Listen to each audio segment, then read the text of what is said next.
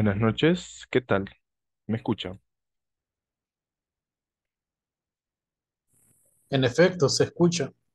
Ok, excelente. Bueno, ahorita está lloviendo en algunas partes de la capital, pero igual, vea, los compañeros, vea, vamos a hacer lo posible, ¿verdad? Que se conecten, pero aquí estamos nuevamente.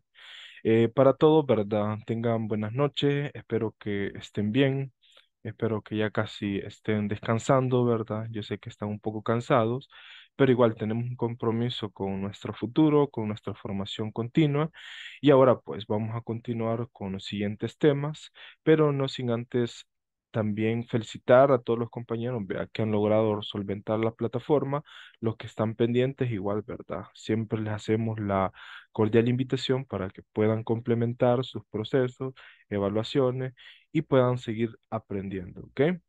Bueno, la semana pasada que estuvimos abordando, compañera Claudia María García Rodríguez, ¿se recuerda? Vamos a hacer un pequeño recordatorio, ¿sí?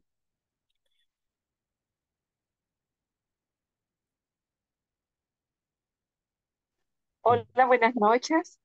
Hola, Estuvimos, eh, bueno, aparte de, de todo, ¿verdad? Estuvimos eh, haciendo lo del presupuesto, eh, cómo cuadrar este, para llevar todo y tener, eh, cómo ver eh, nuestras finanzas, cómo van a ir encaminadas con, con el método que usted nos está enseñando. ok, excelente. Compañero Carlos René Abarca, ¿qué tal? Buenas noches. ¿Qué estuvimos viendo la semana pasada? Haciendo un recordatorio. Bueno, este, desde el, el día lunes hasta el día viernes, bueno, hemos hecho bastantes cosas. Sí, Hemos hablado acerca de estrategias, hemos hablado de apalancamientos, hemos hablado de cómo este, hacer publicidad general, publicidad específica. sí, Hemos hablado de las métricas cualitativas, del posicionamiento en las cuentas, digamos, en diferentes redes sociales. Y hacíamos ejercicios acerca de cómo vender eh, cierto producto. Y usted mencionaba, o más bien en la clase se mencionaba, de cómo vender zapatos en una área determinada y se hablaba entre San Salvador y La Libertad, donde podía venderse ese tipo de zapatos y ahí este, discutíamos ciertas este, técnicas de venta donde este, el, principal objetivo era crear una necesidad dentro de este mercado. Eh, lo que me acuerdo, ¿verdad? ok, no se preocupe. Bueno. En esta semana, ¿verdad? Eh, lo que vamos a abordar, ¿verdad? Es complementario, ¿verdad? Recuerden que la parte de marketing tiene un montón de aristas, tiene especialidades, tiene formatos, pero yo lo que quiero es que ustedes, ¿verdad? Pongan de su parte, que practiquen este conocimiento, como les digo, yo les enseño una forma, un método, un proceso para que ustedes enciendan esa, esa chispa creativa de las cosas, ¿sí? Entonces, siempre, siempre les digo, vamos a tener un reto de solucionar con tecnología, con marketing. Entonces, nunca están tiradas, ¿verdad? o nunca es un mismo, o sea, las mismas variables, ¿sí? Pero lo que yo siempre les digo es que se mantienen los fundamentos del análisis, ¿sí? Se mantienen los fundamentos. Por ejemplo, a mí me decían, mire, fíjese que no tengo autorización para usar marcas, por ejemplo, me decían en, en un, en un espacio y yo quiero vender, entonces yo tengo que cambiar toda la, o sea, todo la- el proceso de planificación, me le dan vuelta de gato y yo tengo que ver cómo soluciono. Entonces, ahora yo les voy a enseñar algunos procesos, algunas buenas prácticas que a mí me funcionan y las enseño con las universidades, ¿sí? Las enseño con estudiantes. Entonces, ¿cómo puede ser o cómo puede hacer una persona para dominar o para ordenar, no tanto dominar, sino que para ordenar equipos de 50 personas, 60 personas. Entonces yo he logrado estandarizar algunas cosas que a mí me funcionan yo les voy a compartir un poco de lo que a mí me funciona con los temas que están en la plataforma, ¿sí? Entonces, ¿qué vamos a ver ahora? eh, la parte de las relaciones. Yo le llamo relaciones digitales, relaciones interpersonales, ¿sí? Muchas personas piensan que Internet, ¿verdad? Es, o sea, es ajeno a, a, lo que ocurre en el mundo físico. No, es parecido, pero de una manera más diferente. Entonces, incluso yo le decía, yo no me hago responsable, y se los decía a, uno, a un técnico, se los decía a, a, a un perfil de, de una empresa, le decía, yo no me hago responsable si usted no quiere seguir mis consejos, si usted me está contratando es porque usted quiere que yo le asesore. Entonces, quiere que yo le diga las cosas como son, no como usted quiere, ¿sí? Entonces, yo tengo que ser lo más acoplado al método, a la técnica o al o a la praxis. Y yo les digo, yo no puedo hacer publicidad si usted, por ejemplo, no me, no me da los insumos, ¿sí? ¿Cuáles son los insumos? La fotografía, usted no me da la información de la empresa, usted no me da una, una asesoría de cómo funcionan lo- lo- los procesos, el producto. Entonces yo tengo que tener ciertas cosas o ciertas variables para yo poder maniobrar, para yo poder hacer para acá y para allá. Entonces, eso es importante y como les menciono, hacer marketing, hacer inbound marketing es una tarea, es un compromiso, ¿sí? Un compromiso porque de repente ustedes van a, les van a asignar presupuesto, les van a decir, mira, te asigno un presupuesto de tres cero de cuatro cero y es tu tarea que esto se recupere, la inversión. Entonces, yo sé que para algunos que es nuevo este tema, les ha de dar un poquito de temor, va a decir, uy, lo que nos dice el profesor, no. Esto es la realidad, ¿sí? Ustedes tienen que hablarle con datos a sus clientes, ¿vea? Entonces, yo, igual, vea, les pongo un ejemplo. Yo les decía, ¿cómo vamos a generar confianza digital? Más allá de hacer el post, que el copy bien bonito, que la planificación, no. Yo quiero que ustedes se pongan en el lugar de las personas que van a asistir a determinado evento, a determinado congreso, a de- de- de- determinada reunión. Entonces, si yo puedo saber qué es lo que va a suceder en la mente, en la conciencia del perfecto discernimiento de datos de las personas, de los seres, yo puedo hacer que mi campaña sea tres mil veces más exitosa que quien solo pone un copy, ¿sí? Entonces, a este proceso le decía Philip Kotler la humanización de la marca, pero es donde yo les digo que ahora vamos a hacer algunos procesos, incluso los japoneses les dicen los círculos de calidad, ¿sí? Entonces, ¿por qué les menciono esto? Porque esto tiene que ver con el manejo eficiente de recursos, ¿sí? Con el diseño de estrategias comerciales. Entonces, las grandes empresas, como les digo, no se equivocan, pero tienen los mejores asesores y especialistas que les dicen las cosas como, no como ellos quieren que se las digan, sino que como son en la realidad, ¿ok? Bueno, voy a compartir pantalla. ¿Me confirman, por favor, si visualizan? ¿Sí? Sí, sí, Ok. Sí, sí, sí. Bueno. Acá, como les digo, ¿verdad? Para que miren que todo tiene sustento, lo, lo que les estoy mencionando, los círculos de calidad, ¿verdad? Esto es parte de la cultura japonesa. ¿Por qué se lo estoy enseñando? Porque a ustedes, ¿verdad? Les va a tocar, o sea, si trabajan en una empresa industrial, una empresa de productos, de servicios, de exportación, ustedes van a tener que aplicar calidad al marketing. Entonces, o calidad, o sugerir, por ejemplo, imagínense que un producto ustedes lo quieren vender, entonces ustedes les tienen que decir, quiero saber si hay un documento, un manual de este producto, quiero saber cómo lo fabrican y qué estándares aplican de calidad. ¿Aplican alguna ISO, algún proceso de certificación con la OSA, verdad?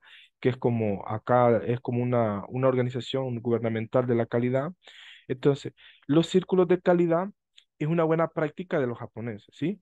Pero nosotros en El Salvador, ¿verdad? En especialmente eh, con la experiencia que yo aporto, yo le llamo, le pongo otro nombre, o sea, son parecidos, ¿verdad? Yo le llamo ciclos de calidad. ¿Sí? Así como dice, ciclos de refinamiento de calidad, ¿sí? Entonces, en Japón le llaman círculos, yo le llamo ciclos. Aquí en El Salvador, en la economía digital azul o en la economía azul digital, nosotros le llamamos ciclo, ¿ok? Entonces, si partimos de esa moción, ¿verdad? Como les digo, esto surgió, ¿verdad? Los círculos de calidad, ¿verdad? Con las empresas industriales, manufactura, tecnología, después de la Segunda Guerra Mundial, los japoneses se plantearon cómo podemos sobresalir, cómo podemos ser una, una potencia, hacer, aplicar mejores procesos. Entonces, nosotros tomamos esa variable, ¿verdad? Los japoneses, cuando miran una empresa japonesa, wow, mi respeto. Así, esas personas tienen un conocimiento milenario, antiquísimo, son de las culturas más respetadas y, y yo la admiro, igual estudio la cultura japonesa, ¿verdad? No es porque sea chino, sino que porque me gusta un poco la, la, la cultura. Y acá ustedes se han de preguntar, va, ya en términos prácticos, ya vamos a implementar, ¿verdad? Algunas buenas prácticas. Entonces, si yo quiero vender, por ejemplo, eh, vamos a poner un ejemplo, compañera, mm, eh, compañera Claudia, ¿qué le gustaría vender o qué producto usted le gustaría proyectar para vender en internet? ¿Qué producto? Bueno, el que ¿Sí? vendo, inmuebles. Ah, ok, usted está en el negocio de real estate. Sí, real Sí, estate. sí. Ok, vale. Entonces, nos vam- vamos a poner el ejercicio, o sea, el, la primera, yo le llamo esto simulaciones, ¿sí? Simulaciones comerciales. Entonces, en lo que yo enseño, ¿verdad? Que es como una metodología o una, un, un conjunto de pasos o fases, y yo le llamo ciclos de refinamiento de calidad. Yo digo, si yo quiero vender una casa, dígame un lugar, compañera. La hacienda, Quintas de la Hacienda, Vaya, ¿eso es en San Salvador o en qué lugar? A eh, San José Villanueva, San José Villanueva es de departamento La de... Libertad, La. Libertad. Entonces, vamos a poner ese, o sea, vamos a, a hacer ese ejemplo, ¿verdad? Para que visualicen, ¿verdad? Vaya, entonces, si yo quiero vender una casa, que es una hacienda, ¿verdad? Correcto. Eh, sí, Quintas Recreativas, La Hacienda se llama, es una residencial. Ok. Entonces, lo primero que quiero saber, ¿verdad? Al- Primero vamos a ponerle un título, ¿sí? Un título a este, digamos, a este ciclo, ¿sí? Entonces, yo quiero entender, parametrizar, comprender qué es lo que pasa por la mente de la persona que tiene el poder adquisitivo, la persona que mira, digamos, o que compra, ¿verdad? Entonces, cuando yo estoy haciendo un ciclo para generar confianza digital, ¿verdad? Le vamos a poner a este, ¿verdad? Proceso, ¿verdad? El título, definimos primero el título, proceso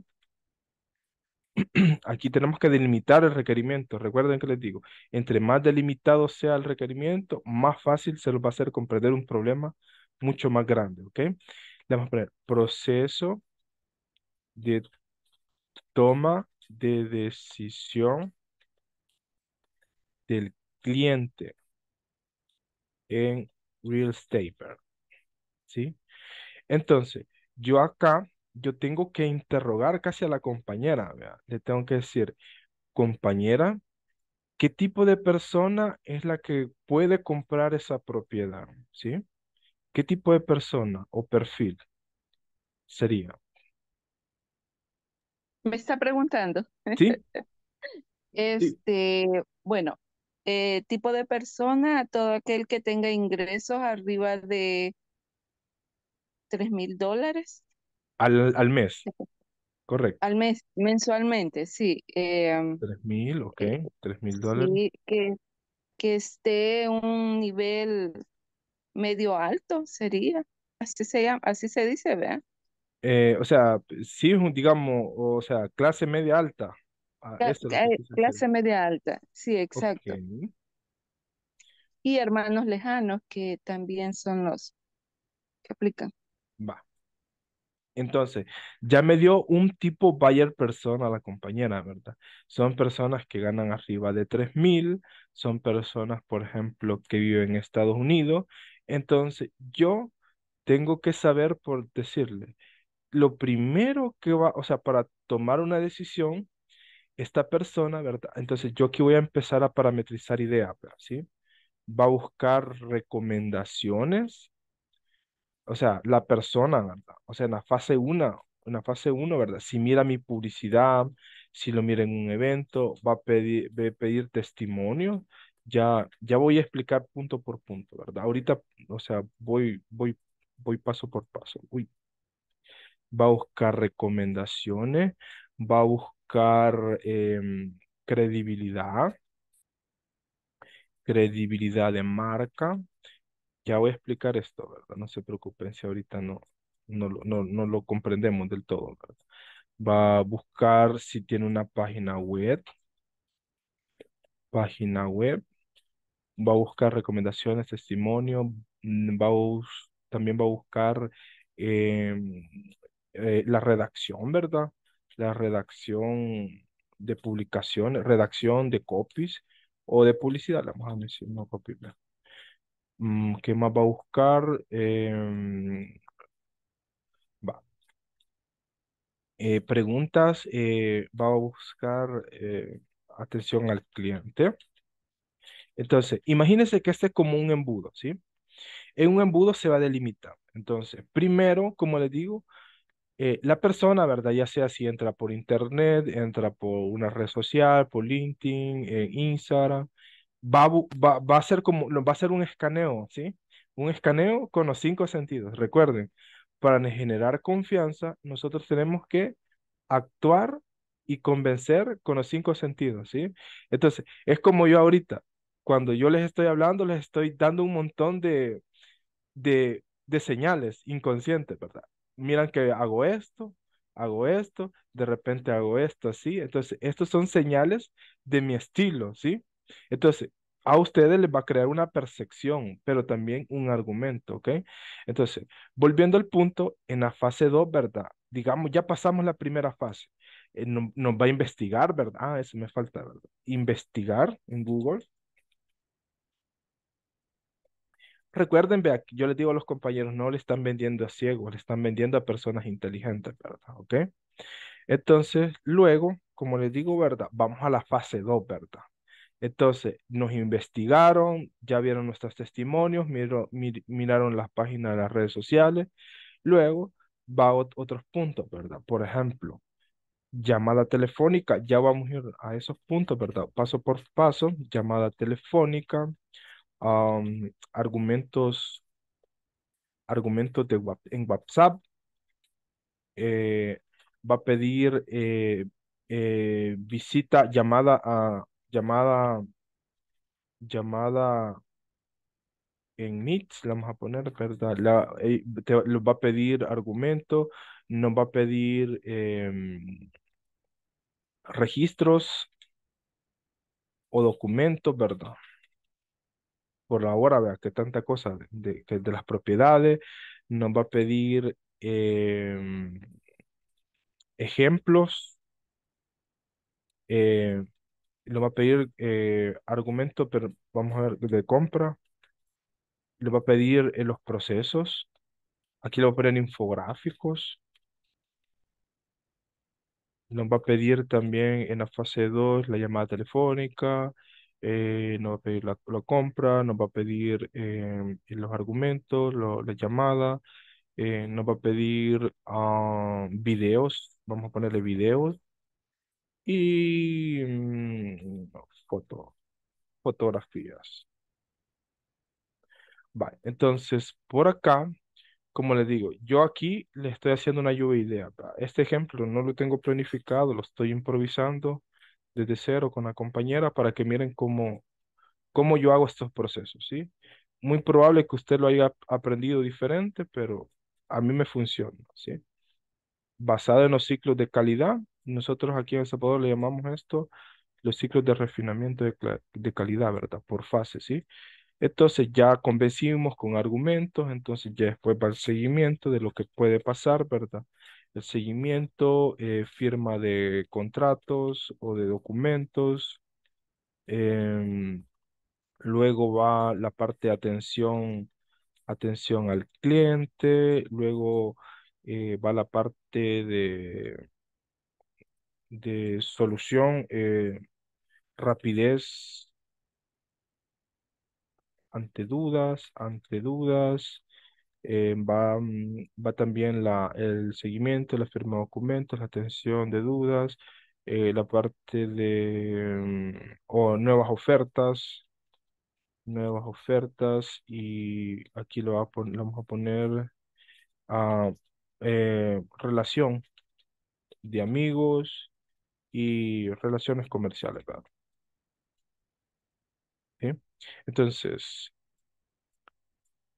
Con esto, ¿verdad? Igual yo me estoy adelantando un poco a los temas, ¿verdad? De toda la semana, pero con esto quiero iniciar, ¿verdad? Para que miren que aquí tenemos que hablar con, con la praxis, ¿verdad? ¿Sí?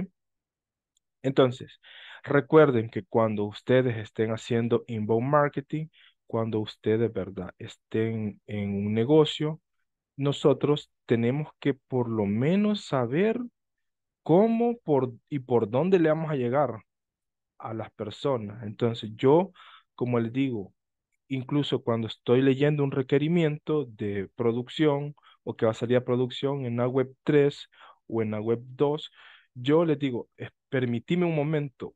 Entonces yo digo, voy a dar un clic acá, después me voy a aburrir, voy a cerrar los ojos. Entonces hago una simulación del proceso en mi mente, así como hacía Nikola Tesla, hago una simulación. Entonces a veces en la simulación que estoy haciendo del proceso, yo me digo, "Ih, me equivoqué, esto no va acá. Entonces, a eso es como la mente, incluso eso lo estudié en psicología con una maestra que tuve y también con eh, un productor musical, es que todos los días la mente está rebobinando para aprender o ordenar recuerdos en nuestra mente. Entonces, esto es similar, solo que a nivel consciente, ¿sí? En la, en la noche, ¿verdad? Ustedes de repente, cuando están durmiendo, van, están pensando todo lo del día, pero no es que con voluntad propia, sino que eso es un proceso inconsciente. Incluso lo dice Jung y Freud en sus estudios y tesis, ¿verdad? Que tienen por ahí. Entonces, con esto, yo lo que hago es saber qué o por dónde, qué es lo que va a pensar el cliente. Primero va a decir el cliente, ¿sí? Eh, compañera Claudia, asignémosle un nombre. Lo vamos a hacer más creativo, vea, al tipo de ¿Un cliente, nombre a la empresa o un nombre a- a- al cliente ficticio al cliente? Sí, Ah, José Pérez. vaya. José Pérez. Entonces, José Pérez. Entonces, ahora con esta, con estos inputs que yo estoy brindando para eh, el tema, entonces, dígame ¿Cómo, lo- o sea, qué, cómo, cómo pensaría el cliente? O sea, póngase ahorita en el lugar del cliente, ¿sí? Y diga, Sí, o sea, esta empresa, por ejemplo, vamos a poner la empresa, empresa Aguacate, va, un ejemplo, la, sí. la empresa que está vendiendo las casas en, la- en Hacienda. Entonces, la Ok. empresa Aguacate, entonces va a decir, o sea, ¿cómo aplicar esto? Usted, usted- imagínese que usted es el cliente, entonces Ujú. haga como un, re- o sea, una simulación, puede decir, va, José Pérez primero se va a sentar en hamaca y va a decir, bueno, estos me están dando casaca, va. O sea, est- esto, vamos a ver si son pajeros, va, o si son de verdad. A mí no me han pagado, si yo vengo a Estados Unidos, yo me la puedo todo, ¿sí? Entonces, si empiezo, quiero buscar si en verdad son una marca formal, no son gente que anda ahí ba- bajándose, ¿verdad? Y todo. Entonces, haga esa simulación, ¿sí? O sea, ya le Sí. di un pequeñito ejemplo. Entonces, y luego les voy a explicar, o sea, cómo lo analizo yo. Ahorita usted lo va a hacer intuitivamente, ¿ok? Vale. Como que fuera el cliente, ¿verdad? Sí, imagínese que usted está hablando en su propia mente. Sí, Usted está hablando, usted misma está hablándose. Y sí. haga, o sea, con estas variables que hemos parametrizado, yo me he adela- adelantado a, a como, o sea, he- he- he viajado al, a la mente del compañero José Pérez para Sí. ver por dónde, o sea, él me va a analizar todas mis debilidades y mis fortalezas y yo quiero, o sea, que usted se haga pasar como un cliente, ¿sí? Y yo después le voy a decir, vea, cómo vamos a ir refinando acá, ¿sí? Ok. Yo, José Pérez, estoy viendo Facebook voy a buscar una casa de mis sueños en El Salvador que tenga este amplios, eh, que sea amplia, que tenga cinco habitaciones, que tenga tres baños para toda la familia, que tenga bastante árboles y tenga donde estacionar yo tres, cuatro vehículos, los que tengo, los de mi hijo, los míos. Ah, aquí está esta casa que me parece bien en la hacienda. ¿Y dónde quedará eso? Quiero ver este, este real estate, cuántos, cuántas publicaciones tiene aquí en Marketplace y si ha vendido, cuántas. Quiero ver. Será, le voy a llamar, le voy a escribir para ver qué, qué me puede decir de la casa y cuánto mide, qué es lo que tiene esa casa que me pueda gustar y el precio hasta dónde podamos negociarlo. Mm, no me parece tan confiable este real estate, pero aquí está el nombre, pero no veo su fotografía en el WhatsApp ni tampoco veo que diga que es real estate, pero le vamos a hacer la llamada y vamos a conocerlo. no sé qué más. Ah, excelente. Entonces, usted, como lo está interpretando, entonces se están cumpliendo todos estos requerimientos. Entonces, lo que hice yo fue adelantarme a todo lo que iba a pensar el cliente, ¿sí? Iba a decir, va, por ejemplo, puchica, eh, vamos a ver esta aguacate, ¿verdad? SASB, ¿verdad? Vamos a ver si son creíbles esta gente, ¿verdad? Y cree que me van a dar paja a mí, ¿verdad? Como yo vengo a Estados Unidos, ¿verdad? Yo me las sé todas, ¿verdad? Entonces yo digo, fíjate que, mira, mira, Juliana, no tiene, la página esta no tiene recomendaciones, no tiene comentarios, solo 200 me gusta tiene. Entonces, no sé si serán verdad o si o serán timadores, vean, más que ahora andan agarrando tanta gente timadora. Entonces, y después digo yo, mm, pero qué raro, ¿verdad? Que no tienen ni un WhatsApp para atender a la gente, ¿verdad? Entonces, y la página web, mira que, que, que, que o sea, no, no tiene nada que ver, ¿verdad? Entonces yo digo, mm, mira, ni las tildes han puesto bien, no sé, me da, me da mala espina, dice. Entonces, total que, imagínense que en cada fase si no se cumplen estos requerimientos mínimos de calidad, por eso el ejercicio se llama ciclo de refinamiento de calidad, si no se, si no se completa ese ciclo de calidad en la mente de la persona, no va a pasar al paso, a la fase 2 ni a la fase 3, ¿sí? Entonces, cuando yo estoy planificando ya sea el, el marketing de, conver, de convertir o conversacional, de convertir a mi usuario, a mi cliente, yo tengo que hacer ese pequeño estudio, ¿sí? Y recuerden, vea, que todo esto no es algo que yo me esté inventando, hay metodología científica también que incluso, o sea, les le va a decir, ordenen en bloques de información. Entonces, yo siempre les digo, Jocelyn Castro, ¿estás por ahí? ¿Sí? Hola, hola, sí, aquí estoy. Vaya, entonces, desde tu punto de vista, desde tu comprensión, desde tu entendimiento, ¿cómo ves este proceso que ahorita estamos adelantándonos a todo lo que va a pensar el cliente? Primero, la primera fase incluso le podemos dar un nombre. ¿Cómo le darías vos a, a, la primera fase un nombre? Con todas esas Eh, variables o requerimientos que tenemos acá. lo nombraría como búsqueda, no sé si Va. estaría bien. Búsqueda, no importa, está bien. Ahorita solo para el ejemplo. Ya después ustedes a su gusto le pueden poner ahí, ¿verdad? Rescate, ¿verdad? Rescate al Guascorán o algo. Va. La segunda fase, desde las variables que ves, ¿cómo le llamarías? Ujú. Decisión. Ok, ¿verdad? Decisión, ¿verdad? Deci... Decisión, ¿verdad? Y la tercera fase, ¿cómo le llamarías? Compra. Ok, entonces, si ustedes miran, cuando vamos ordenando la información, nuestra mente va captando de una mejor manera, ¿sí? ¿Por qué hacemos este ejercicio? Porque quiero que ustedes aprendan a agrupar la información, a analizarla, a tomar decisiones. Si nosotros tenemos decisiones o tomamos decisiones acertadas en conocimientos ordenados, el resultado va al éxito, ¿sí? Entonces a veces me han dicho, wow, qué increíble cómo salió esto. Yo no lo había planificado, lo digo, yo ya lo había hecho en mi mente, pero no le dije, mira, fíjate que hice este proceso. A la gente por lo general no le gusta escuchar los procesos, ¿sí? Le quieren resultados, pero los que dominan la analítica empresarial, los procesos, la estadística, entonces esto lleva un poquito de estadística por los segmentos, ¿verdad? Solo que aquí no les he dicho, mire, esto es estadística, pero lleva un poco de estadística, ¿sí? Estos serían argumentos cualitativos, ¿verdad? ¿Sí? Entonces, desde lo que vos visualizás, por ejemplo, en la fase uno, eh, Jocelyn Castro, ¿qué crees que nos hace falta?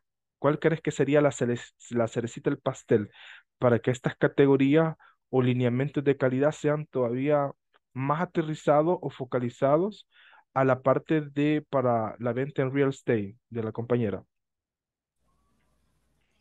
Am, es que yo me quedaría con los testimonios porque, o sea, siento que esa sería como la cereza, ¿no? Ya que Sí, eh, cuando buscamos, va, en este caso, un proceso de, de compra de una casa, siempre queremos saber cómo eh, algún testimonio de que dé fe que uno, la la agencia de bienes raíces está funcionando bien, o sea, no es una estafa ni nada, porque estos son procesos bastante complicados, ¿no?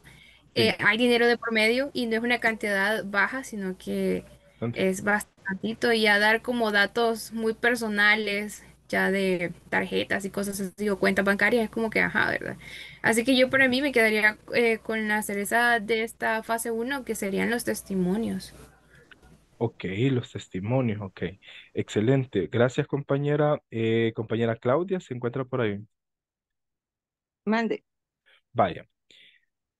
¿Qué crees que sería lo más, o sea, ahorita vamos a hacer un ejercicio, ¿verdad? Un poquito dialéctico de argumentación para que ustedes, porque esto, como digo, les van a dar vuelta de gato, le van a decir que no sirve, o sea, le van a decir de todo, ¿verdad? Las personas que no saben lo que leen, ¿verdad? Pero como ustedes, ¿verdad? Son profesionales o van a ser profesionales de inbound marketing, tenemos que saber la argumentación, ¿verdad? ¿Cómo vamos a manejar? Imagínate que la junta directiva, ¿verdad? O de una empresa, imagínate que te contrató, ¿verdad? Para que le vendas las casas, ¿verdad? ¿Sí? Entonces, imagínate que te van a decir, mire que, o sea, qué complicado hacer eso, pero dígame con, o sea, si tenemos poco dinero, ¿cómo podemos hacer esto? ¿Qué es lo, o sea, dígame cómo podemos hacer? ¿Cuáles serían las variables para hacer lo más barato posible? O sea, con poco dinero, ¿sí? Entonces, nos cambió toda la estrategia ahora, ¿sí? ¿Cuáles serían las tres variables en las, o sea, elija solo dos variables en cada fase? Lo que podamos hacer rápido, barato, con poco dinero, para hacer la campaña, por ejemplo, para vender las casitas, ¿verdad? Por Facebook y por ADS, ¿sí? Mm, Vaya, según lo, lo, lo que hacemos diariamente y, y qué es lo que, y bueno, y sin, y sin muchos recursos, ¿verdad? Importantes las recomendaciones, ¿verdad? Porque eso siempre va a ser muy importante que alguien le diga a uno, yo lo conozco, yo lo contraté y fue un buen servicio. O sí compré mi inmueble y, y me asesoró muy bien, ¿verdad? Esa es una de las cosas más importantes. Em, la página web y la redacción de la publicidad. Excelentes fotografías, eh, la, eh, redactar bien, eh, así como con el chat GP GPT, ¿verdad? Este, que yo lo he estado, ahora estuve haciendo dos anuncios en Marketplace Ah, y, y lo, lo utilicé y, y me encantó como me redactó, este, yo le puse todo lo que necesitaba y me tiró de una sola vez. Y entonces solo lo, lo copié y le fui quitando las cosas y agregándole. Ok, Y bueno, a mi criterio me encantó, ¿verdad? Eso es más que todo porque nosotros vendemos por lo que ven en las redes sociales. sí, Ajá, entonces ese es el fotografía, que es la visualización, que es lo que más a los clientes les llama la atención, ¿verdad? sí, Luego, este, toda la descripción de la propiedad, que metros cuadrados, qué, qué es lo que, que tiene el, el inmueble. Eso en la fase 1, ¿verdad? Que son la- las tres más que veo más importantes. En la fase 2, sí, ya sería la llamada telefónica donde el cliente eh, llama para preguntar más, o sea, para querer saber más eh, con quién está hablando, eh, realmente cuánto mide la propiedad, qué, qué más, o sea, saber más del inmueble. Sí, Mm, quiero ver, eh, eh, pocas veces es, hace videollamadas, a menos que quiera ver la propiedad solo por videollamada. Eh, lo ujú, otro es la visita. En nuestro caso sería visita, porque ella quiere visualizar el inmueble, verlo en, mm, en, en, en lo que es, ¿verdad? Realmente. Y igual piden videos y fotografías. Esos en la fase 2 siempre pe- pedirían. Esas serían cuatro cosas las que para mí serían importantes. ¿verdad? Y en la fase 3 hay En la fase seguimiento, o sea, en la compra y después de la compra. Depende del tipo de cliente, porque hay clientes que ya van decididos a lo que quieren comprar, no andan pensando, ven lo que quieren y dicen, bueno, tengo mi abogado, este, mándeme los documentos a mi abogado de confianza y que se entiendan con el abogado del vendedor. Y Ujú, ya, y para mí es lo mejor, ¿verdad? Porque no me gusta pedir documentos a los clientes, sino que ya de una vez sus abogados de confianza se dan los enlaces para que ellos se empiecen a, a enviar la documentación. Ya cuando se revisa todo y ya se pasa firma de documentos y se hace el cierre. Ok. Entonces, con esto que, con este pequeño ejercicio que hemos hecho, ¿considera usted que podemos vender una casa de 60 mil dólares, compañera Claudia?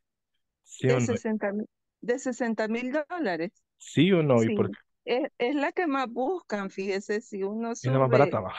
Sí, va. Eh, no, hay, hay todavía de 30, 40, pero depende de la ubicación. Pero en la hacienda no hay de ese precio. Ahí son de ¿Verdad? 200, de 250 mil hacia arriba. Pero es por las medidas que cada propiedad allí mide más de 2.000 varas cuadradas, que le caben Ah. como seis casas. Son bien grandes lo- lo- los terrenos. wow, qué súper. ¿Y es al contado o al crédito? Eh, bueno, yo asesoro como, recuerde que trabajé en banco y, y vi hipotecas, ¿verdad? Ah, Entonces, eh, tengo la ventaja de asesorar a un cliente para poder hacer la compra eh, de contado. Muchos propietarios no les gusta que, que es- esperar el proceso de, de, ¿qué? de créditos.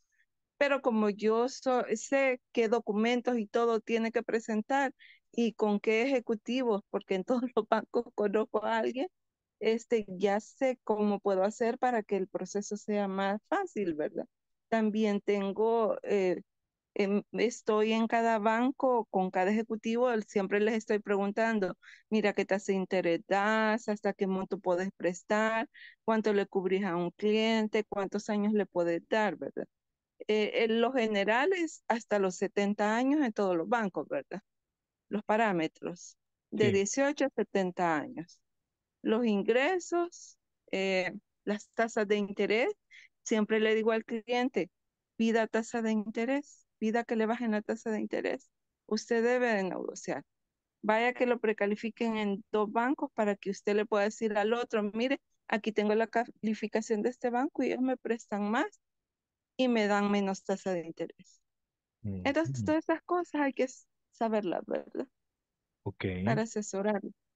Excelente. Y como le digo siempre, ¿verdad? Tenemos que tener la conciencia que tenemos que planificar. Imagínense que esta es una planificación de calidad y nos va a guiar para nosotros tomar decisiones, ¿va? Por ejemplo, yo puedo decir, vea, o no, mejor que Jocelyn diga, Castro, Jocelyn Castro está por ahí. Te voy a molestar otra vez. Dígame. Vaya, imagínate que tenemos un presupuesto de 300 dólares para vender una casa, ¿sí? Aunque yo sé que es hipotético, o sea, no es, no es verdad. Pero con 200 dólares, imagínate que a vos te dicen en agencia de publicidad, ¿qué podemos hacer con 200 dólares, Joseph? Vos como experta en inbound marketing, ¿qué variables vas a tomar de todo este, de esta sopa que tenemos aquí, ¿verdad? O este conjunto. Pues me iría por el contenido eh, para vender una casa, a un reel, porque necesito mostrar el producto como tal y conquistar con las amenidades que ofrece, en este caso la residencial y las dimensiones de la casa, como le explicaba la compañera. Eh, son las preguntas más frecuentes que hacen al momento de que uno sube o, publi- o publica una, una propiedad. ¿Cuáles son las dimensiones? ¿Cuántas habitaciones tiene? ¿Tiene habitación principal? ¿Trae walk-in closet? Y cositas así que son como... la- ah, y los baños, porque es lo más eh, importante y también lo- los, los espacios para los vehículos. Entonces, em, con el sentido del, del contenido para redes sociales o algún sitio web, bueno, si se crea una landing page, creo que se montan las fotografías para que puedan visualizar un poquito mejor la parte de las propiedades. Y me iría justamente por eso, con algo más visual para comenzar a vender uno por sí solo la, la vivienda, ¿verdad? Y ya de ahí comienzan a caer los clientes potenciales que comienzan a preguntar por precios, si es negociable, eh, hasta cuándo estaría como vigente ese precio, porque a veces también es un, es un gancho colocar eh, eh, que esa oferta tiene como mínimo dos, tres meses, por así decirlo, de ajá. ese costo. Y ya de ahí pues puede subir o, o bajar, puede bajar también. Ok, entonces imagínate que acá, vean, eh, acá digamos hay, hay varios escenarios, por ejemplo, para hacer publicidad, para hacer inbound marketing, pero imagínate, si a vos te dicen, ¿qué opinarías si una persona, ¿verdad? ya sea que sea de Estados Unidos, sea una empresa, te dice, mira, yo quiero que las casas se vendan rápido, pero quiero que vos, o sea, en vez de yo pagarte, ¿verdad? Una cantidad, te voy a dar una comisión. Pues te puedo dar una comisión de entre el 20% a un 25% y vos encargate de toda la parte, o sea, tomar las decisiones que consideres convenientes, pero yo te voy a dar una comisión por casa. Entonces, considera- ¿consideras que es una buena estrategia eso? Que tenga una comisión, por ahí andan las comisiones de, de venta, entre 10 15 20 hasta No, no, 28 para dependiendo. nada. No, No, qué chivo que fuera. fuera, De hecho, ojalá. no. Yo he visto productos, vea, no todos, pero no. Va, ¿quién, quién No, nos comenta, vea, un poco de las comisiones, ¿no? Para entrar en materia, ¿sí? Es que el lo que es de casa, el, max, el tope máximo es del 5%. Es que si fuera Ah, el ok. 20, Es puchica, producto. Qué chivo. Va. Pero estábamos simulando, ¿verdad? O sea, yo en casa sí, yo nunca he vendido casa, ¿verdad? Soy sincero, pero producto, o sea, eh, por ahí andaba el, el margen. ¿verdad? Vaya. Pero en este caso, compañera, así, ya, así que ya nos corrigió el requerimiento. ¿verdad? Yo, como les digo, no he vendido casa. Pero si a vos te dicen que te dan el di- 5%, ¿te animás a hacer como ese partner? como agencia o como emprendedora o como freelance independiente? ¿Crees que sería una, un buen reto o no? ¿O no es posible? ¿Cómo lo ves? Sí es posible y sí sería un buen reto porque, ajá, una vivienda no es algo que, que se venda así de la noche a la mañana, ¿verdad? Como Eh, ten- ah, exacto, tengo colegas que, ajá, que se dedican a, a la parte de bienes raíces y todo, y es como que ellos me dicen, es una emoción cuando te dicen, muéstreme el apartamento o la casa. Mm, Es como que aquí lo tengo que conquistar, me dicen ellos, porque eh, uno, aparte de que con ver la, la vivienda o el inmueble se enamore el cliente, se tiene que enamorar también de lo que usted le está diciendo. O sea, Sí, usted imagínese en esta cocina preparando los platillos más exquisitos, esas, celebrar esas eh, festividades en familia. O sea, entonces ya ahí comienza el marketing, desde ahí comienza, ¿no? sí. Y, y Ajá. ajá, entonces no me imagino yo vendiendo un inmueble, pero no sé, me imagino que ¿Quién trataría quita de futuro? ¿Quién quita futuro? ¿Quién Pues quita? sí, Correcto. pues He sí. hecho cosas en marketing que ni yo me, me imaginaba, pero ajá, todavía no he llegado a la venta de inmuebles, así que me faltaría ex- experimentar eso. Pero Pero sí, aceptaría el reto. Creo que sería un buen reto, sería un buen Sí, reto, o sea, verdad. otro nivel, o sea, ya aquí tenés la conexión con la compañera, mira, cuando. Imagínese, imagínese, imagínese, yo, Celi, si el 5% de doscientos mil, ¿cuánto es?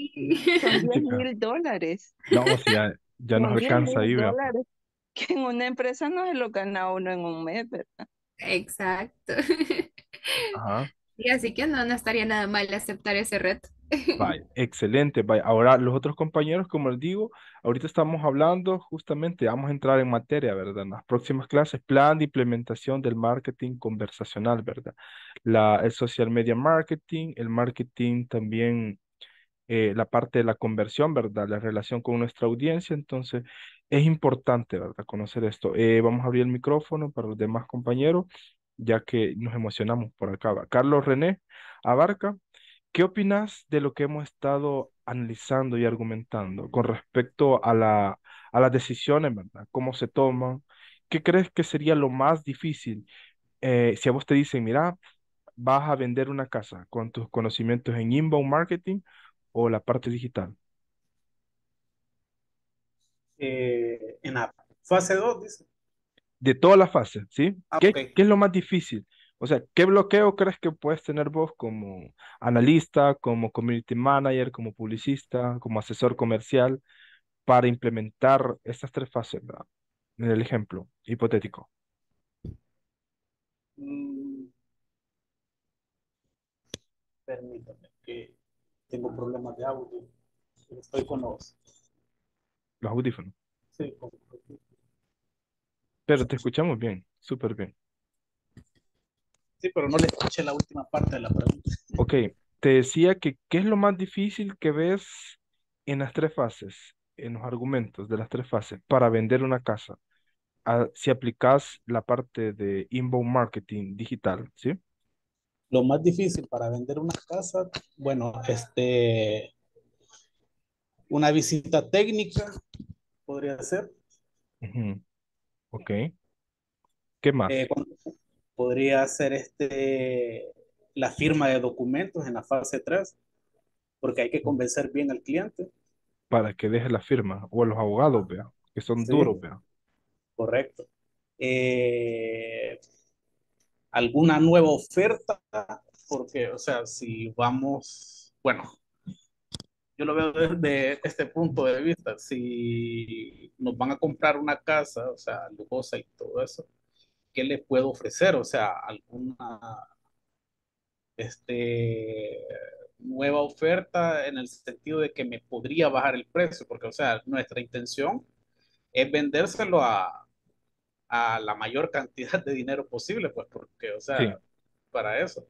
Pero, o sea, si el cliente se pone ahí de, de decirme, mira, este, me parece que 60 mil dólares son muchos y, y entonces, este, ahí se hace un poco difícil porque, o sea, ahí es como el, el, el tema del regateo, como sí, se conoce aquí en, eh, aquí en El Salvador, ¿verdad? Entonces, este, es una negociación que se está haciendo entre vendedor y comprador, pero, o sea, mi intención no es bajarle tanto, porque entonces, ¿dónde queda la ganancia como, como vendedor?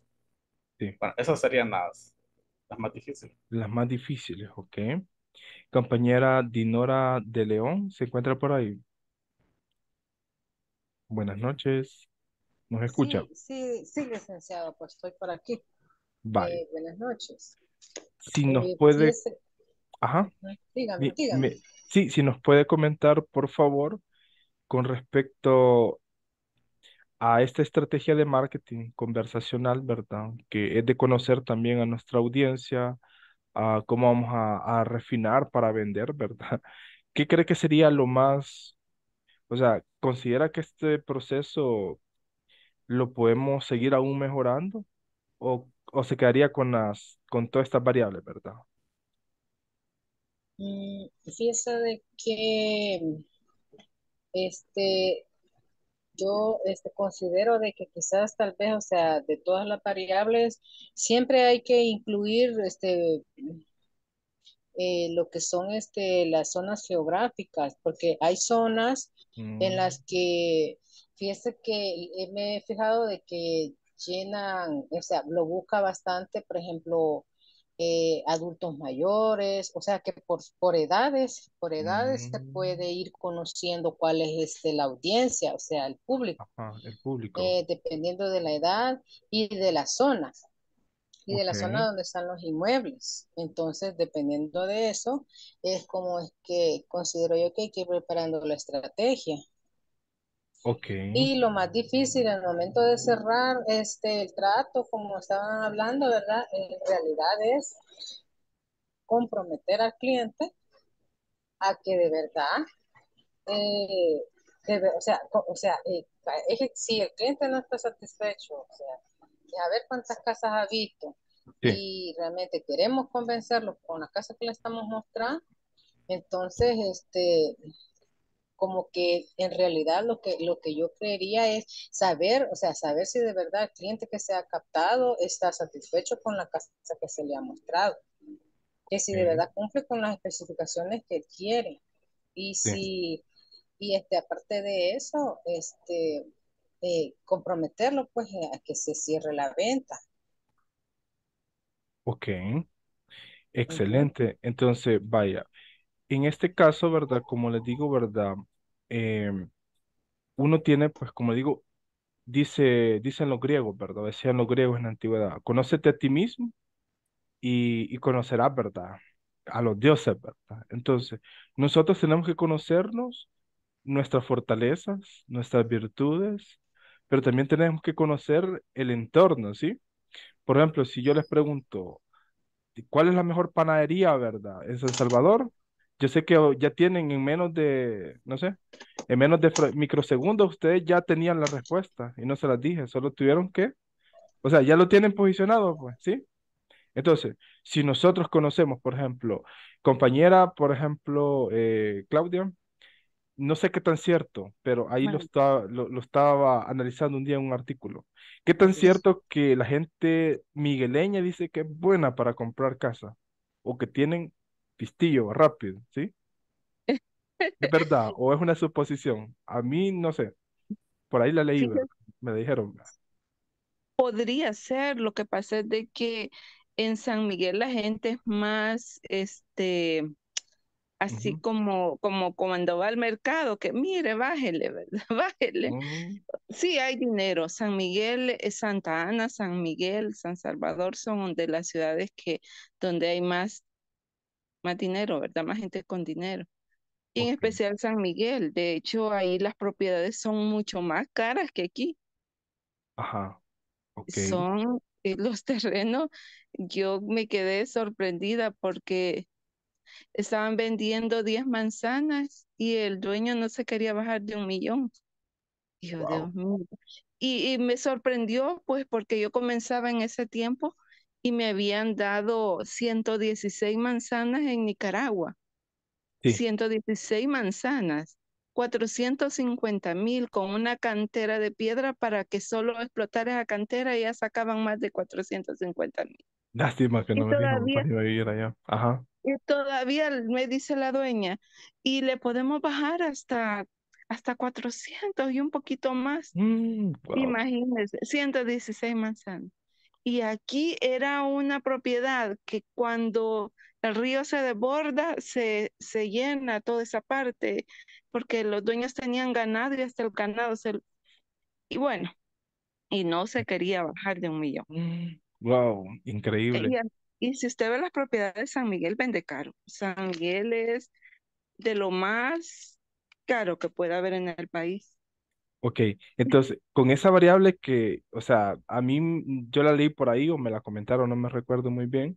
Entonces, yo ya vi el, o sea, el mercado, ¿sí? Ya vi cómo se está moviendo, ¿sí? Entonces, si ustedes, ¿verdad? Están trabajando para un cliente, ya sea externo o un familiar, un amigo, entonces, conozcan el mercado, ¿sí? ¿Se recuerdan que yo les hablaba de la ley de oferta y demanda de Alan Schmidt? Eso se aplica, ¿sí? La gente de San Miguel tiene un poder adquisitivo de tantos, la gente de Santana, la de Santa Tecla, la de Cucatlán.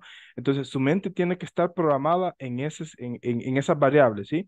Por ejemplo, si una casa, por ejemplo, eh, por ejemplo, una casa, le, le voy a hacer como la pregunta, Claudia. Eh, eh, la mejor calidad del agua, ¿en qué departamento está? Y las casas, en- en- ¿o ¿cree que eso puede aumentar la, el precio o el valor, la calidad del agua del lugar? La Mm, sí, en parte, porque a las personas no les gusta estar sin agua, ¿verdad? Es lo primero que Exacto. preguntan. ¿Tiene cisterna en la casa? ¿De cuántos, no sé qué, barriles o metros cúbicos es la cisterna? ¿Y dónde está ubicada? Hasta van a ver, a abrir, levantarla para ver si, La toman si agua, va a bien. si es dulce. No, este, y eso, eh, pero mire, la ubicación es una de las de, lo que más solicitan, ¿verdad? La ubicación. Eh, a muchas veces hay clientes que no les importa cómo esté estructuralmente, porque fíjese que hay clientes que los hacen a su gusto, o sea, gente que le hace un arco por aquí De y todo. Y no toda la gente le gusta eso, o sea, tal vez podrán ser dos o tres que les guste el arco y los demás a nadie ve. Hay muchos factores para vender un inmueble, pero ya cuando un cliente ve un anuncio, se le hacen tres, cuatro preguntas específicas y él le dice sí, sí, sí y voy a ir a verla. Ya el Ajá. cliente ya sabe lo que quiere y cuando llega ya sabe lo que quiere. Revisa si todo está de acuerdo como se lo imaginó, como se mencionó en el anuncio Sí. y si le gustó, no anda con tantas cosas. Le dice sí, mándeme los papeles que esta me interesa. ¿Y cuál es la 10, emoción? Ajá. ajá, y imagínese, pero yo no me emociono, ¿sabe por qué? Porque una escrituración se puede caer en el último momento.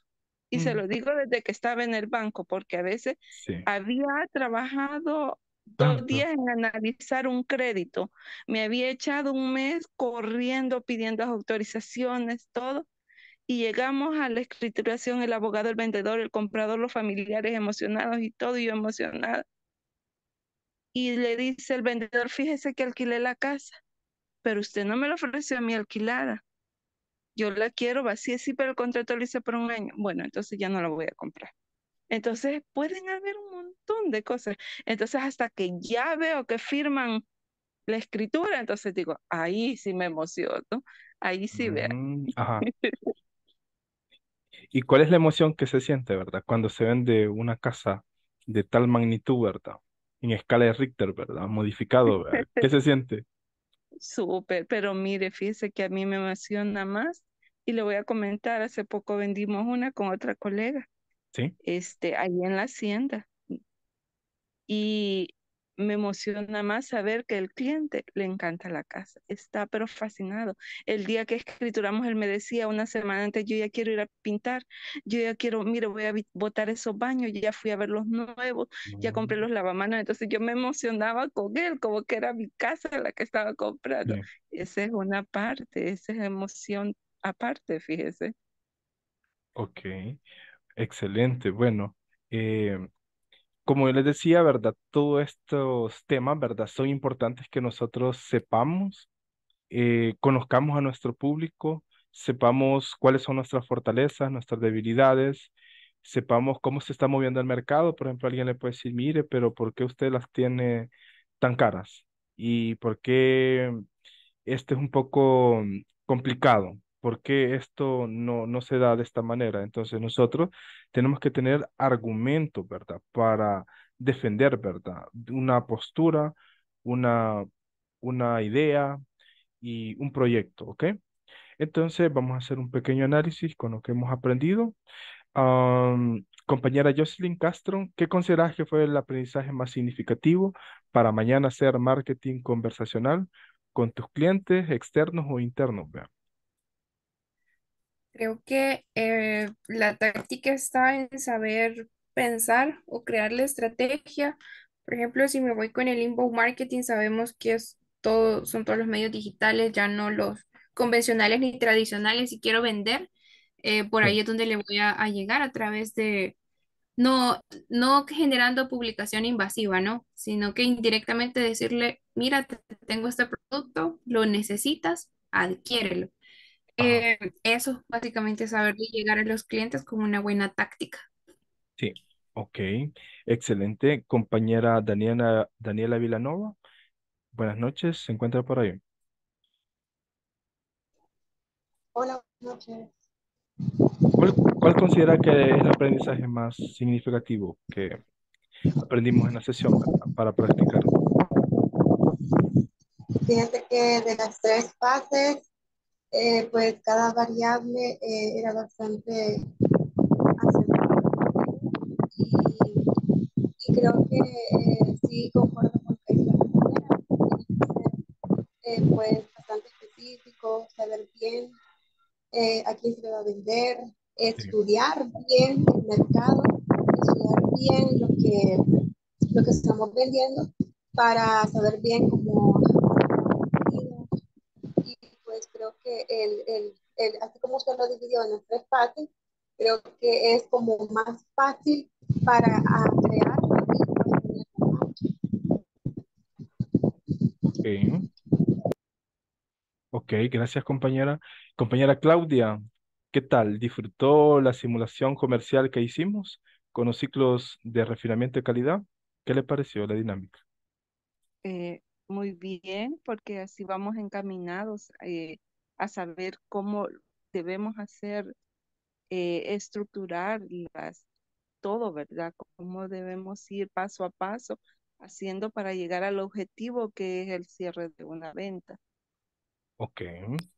¿Considera que es importante hacer este tipo de análisis un poquito bien profundo, ¿verdad? Hasta cierto punto. Y cree que con esto podemos ya vender una casa ya en Hacienda, ¿verdad? El día de mañana. De hecho, sí, es, es, sí son muy importantes. Eh, algunos ya creo que por default ya los practicaba, ¿verdad? Porque tenía que, Sí, que a mi manera tenía que, los sabía para, y los aplicaba, ¿verdad? Pero algunos otros los estoy aprendiendo con usted y realmente es lo que más lo encamina a uno al propósito que tenemos. Ganar, ganar. ok. Excelente. Bueno, entonces con eso, pues, como les digo, finalizamos. Mañana seguimos con la parte del plan de marketing conversacional, estas buenas prácticas de conocer a nuestra audiencia, conocer a nosotros mismos, ver la manera de cómo hacemos eh, las cosas de una manera más estratégica y como les digo, quien no planifica, ¿verdad? No califica, ¿verdad? Las grandes ligas, ¿verdad? Entonces, siempre, siempre, yo no he conocido hasta hoy alguna empresa, ¿verdad? Que me diga, mire, yo, o sea, lo hago a lo que salga, no. Todo lleva quizás un proceso, un orden, una estructura, una, una metodología, algo que se pueda cuantificar primero para después probarlo en la práctica, ¿ok? Bueno, igual les hago la recomendación, pues que puedan eh, resolver la- las evaluaciones, ¿verdad? Durante la semana con respecto a este módulo. Recuerden que este ya sería el módulo para cumplir el 75% del curso. Y también, pues, igual agradezco siempre el apoyo, la comprensión. Y pues nos vemos el día de mañana en otra interesante sesión, ¿verdad? ¿Sí? Así que que descansen y que tengan una bonita noche. En nombre de Inglés Corporativo, les deseamos las mejores bendiciones. Los vemos. Adiós. Adiós. noches. Buenas noches. muchas gracias.